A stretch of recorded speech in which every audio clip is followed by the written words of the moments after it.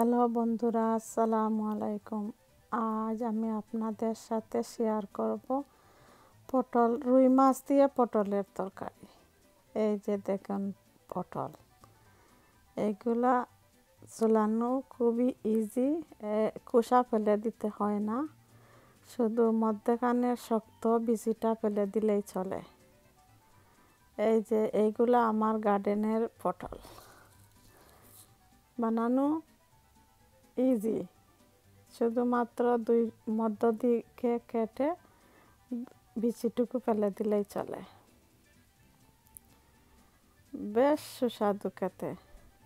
এই রেডি হয়ে গেল পটল। এক পটল এখন রেডি হয়ে গেল। পটল, খুবই ছোট ছোট দেখতে কিন্তু খেতে খুবই ভালো লাগে। রুই মাছগুলা একটু ফ্রাই করে নিব। সামান্য পরিমাণ হলুদের গুঁড়া, সামান্য পরিমাণ মরিচের গুঁড়া দিয়ে ফ্রাই করব।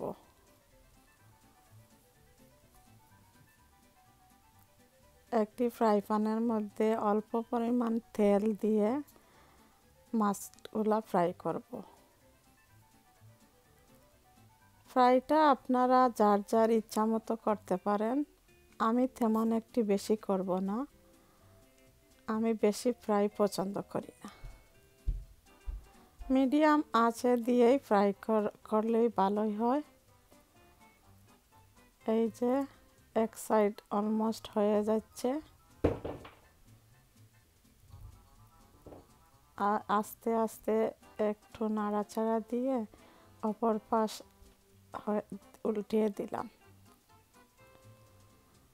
একটা একটা করে অপর অপর, অপরটা উল্টে দিলাম। দিয়ে ধরেন দুই থেকে তিন মিনিট হলেই হয়ে যায়। ফ্রাইটা। বাট এটা যার যার ইচ্ছা মতো করতে পারেন। ফ্রাইটা হয়ে গেছে। এখন একটা প্লেটের মধ্যে তুলে রাখব।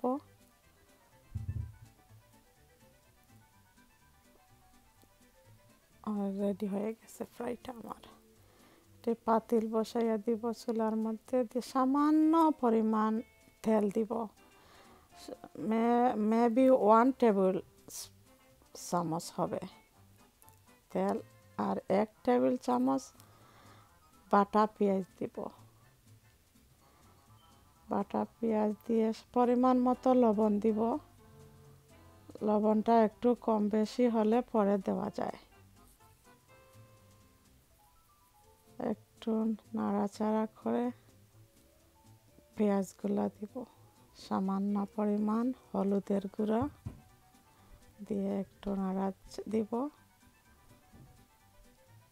হাফ চামচের মতো মরিচের গুঁড়া। হাফ চামচের চেয়ে কম জিরার গুঁড়া দিব। দিয়ে একটু নাড়াচাড়া করে হাফ কাপের চেয়ে কম পানি দিয়ে মশলাটা কষাইয়া নিব। মশলাটা কষা কষানো হয়ে হয়ে যাচ্ছে অলমোস্ট দুই মিনিটের জন্য ডেকে দিব। দিয়ে মশলাটা কষানো হয়ে গেছে। এখন পটলগুলা দিয়ে দিব।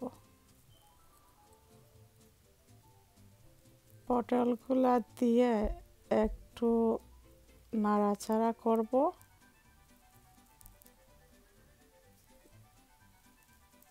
একটু নাড়াচাড়া করে পটলগুলা ঢেকে দিব।